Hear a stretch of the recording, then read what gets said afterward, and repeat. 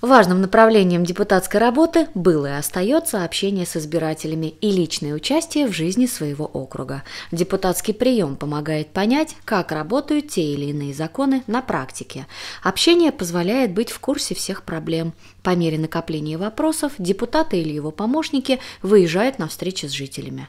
Просьб о обращении немало, и они касаются самых различных сфер. По мере необходимости накопленных вопросов и принимаем решение – оперативно назначить прием, чтобы встретиться с гражданами Электрогорска. А люди приходят с разными вопросами.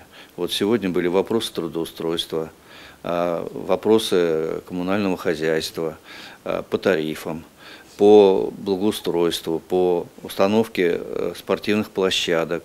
Людей интересуют многие вопросы, которые нужны им для того, чтобы э, найти ответ на поставленные вопросы и получить ответ от Ленары Самединовой как депутата областной думы.